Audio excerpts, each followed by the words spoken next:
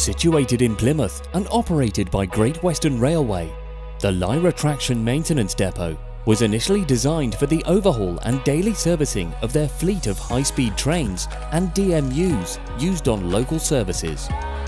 More recently, the site needed to be updated and amended to allow the maintenance activities and support of the new AT300 train introduction, for which EMEG were invited to submit their innovative designs and contract proposal. The AT300s were to be built by Hitachi Trains and would initially be made up of 7 9-car and 22 5-car trains.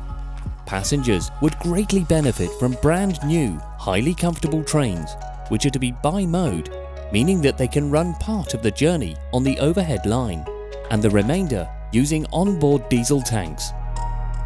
Acting as principal contractor, EMEG's extensive portfolio of depot experience and in-house design capability included specialized design of control systems and plant, allowing the smooth design, delivery, install and commissioning of the specialized equipment in a live depot.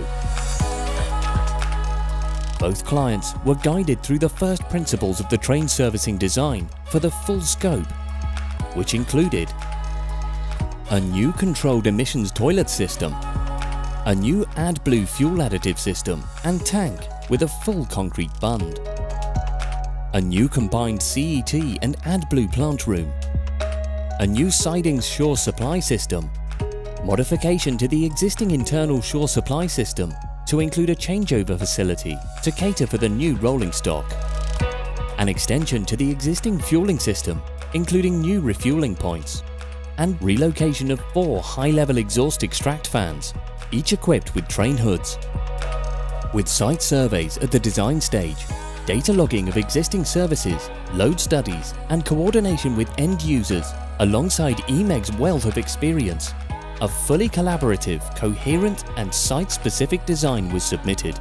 ensuring that all elements of the depot service design was completed in accordance with the scope of the project data management plan to a BIM Level 2 strategy. As part of the NWR Infrastructure Project Plan, designs were submitted to enable teams from all disciplines to review and discuss any predicted problems before they arise, to achieve sign-off and approval by the client prior to build, resulting in less abortive works for both design and construction. As the depot was fully operational throughout the construction period, EMEG's work had to be fully coordinated with daily operations, ensuring the depot's functionality wasn't affected. And all work to be conducted with health and safety as an absolute priority. EMEG ensured that a true partnership of collaboration, trust and honesty was in place to ensure that day-to-day -day programming and resequencing of events took place. A thorough knowledge of rail operations and dedicated site supervision meant the depot knew they were in safe hands when it came to integrating these works.